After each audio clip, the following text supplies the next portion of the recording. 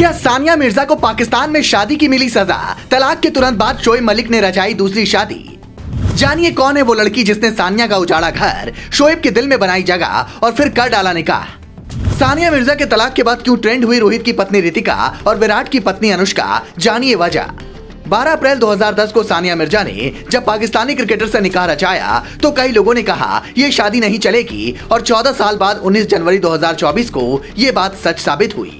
जब सानिया मिर्ज़ा को छोड़कर उनके पति शोएब मलिक ने तीसरी लड़की से निकाह कर लिया। सानिया मिर्ज़ा से पहले भी शोएब शादीशुदा थे। हालाँकि शोएब ने कभी खुद ये बात नहीं कबूली। अब ये तस्वीरें उनकी तीसरी निकाह की हैं। ये लड़की कौन है? शोएब कैसे इन्हें दिल दे बैठे? इसका पूरा किस्सा पहले सुन लीजिए, फिर इस सवाल पर आते हैं कि क्या हिंदुस्तान की बेटी सानिया को पाकिस्तान में शादी करने की ये सजा या सीख मिली है? तस्वीरों में शोएब मलिक के साथ जो लड़की आपको दिख रही है, इनका नाम है सना जावेद, जो पाकिस्तान की मशहूर हीरोइन में से एक है। साल 2012 में एक सीरियल से इन्होंने अपने एक्टिंग करियर का डेब्यू किया और सामाजिक नाटक रुसवाई और डंक के लिए तारीफ़ भी मिली। पर शायद सानिया मिर्ज़ा ने ये नहीं सोचा कि उनकी ज़िंदगी में एक दिन ये ऐसा डंक मारेगी कि सब कुछ खत्म हो जाएगा। जैसे कोई भी महिला अपने पति का अफेयर बर्दाश्त नहीं कर पाती, ठीक वही सानिया मिर्ज़ा के साथ भी हुआ। सानिया मिर्ज़ा के पिता कहते हैं, ये तलाक नहीं खुला था। खुला का मतलब होता है लड़की की ओर से किसी वजह से तलाक की मांग करना। अगर लड़का अलग होना चाहता है तो उसे तलाक कहते हैं। अब सानिया ने तलाक क्यों मांगी, ये तो आप समझ ही गए होंगे। शोएब ने जितनी जल्दी दूसरी निकाह रचाई, उससे पता चलता है कि रिश्ता पहले से ही चल रहा था और इसी बात से नाराज़ होकर सानिया ने रिश्ता तोड़ने का फैसला किया। इसलिए इस निकाह से कुछ दिनों पहले सानिया मिर्ज़ा ने अपने सोशल मीडिया अकाउंट पर लिखा था, तलाक भी मुश्किल है। शोएब सानिया का पाँच साल का एक बेटा भी है, अब वो कहाँ रहेगा, इसका फैसला सामने नहीं आया है। पर ज़्यादा उम्मीद यही है कि वो अपनी माँ के साथ रहे। लेकिन जरा सोचिए, सानिया मिर्ज़ा ने पाकिस्तान में शादी नहीं की होती तो क्या यही हाल होता?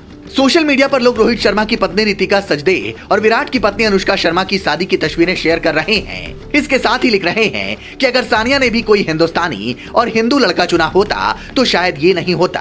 हालाँकि इस डिबेट का कोई खास मतलब नहीं रह जाता, क्योंकि तलाक के मामले हर मुल्क में होते हैं। हिंदुस्तान में भी हज़ारों तलाक के मामले पेंडिंग हैं और बार बार ये सामने आता है कि बड़े बड़े लोगों ने तलाक ले लिया। पर हिंदुस्तान के कई क्रिकेटर रिश्तों के मामले में काफ़ी ईमानदार नज़र आते हैं। और जब रिश्तों की बात आती है तो सचिन तेंदुलकर और महेंद्र सिंह धोनी को आप कैसे भूल सकते हैं?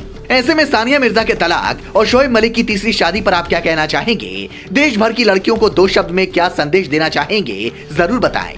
क्योंकि जिस तेज़ी से देश दुनिया में लव मैरिज के मामले बढ़ रहे हैं, उस तेज़ी से तलाक के केसेस भी बढ़ रहे हैं। ऐसा नहीं है कि अरेंज मैरिज में तलाक नहीं होते, पर उसकी संख्या काफ़ी कम होती है।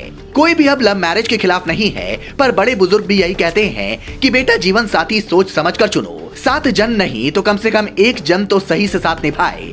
कई लोग तो ये भी कहते हैं कि जब आप दूसरे मुल्क में जाकर शादी करते हैं, रहते हैं, तब वहाँ के नियमों से और बंध जाते हैं। आपके अधिकार सीमित हो जाते हैं। तो क्या सानिया मिर्ज़ा के साथ भी यही हुआ? आपको क्या लगता है? कमेंट कर बताएँ। Bureau report, global Bharat TV.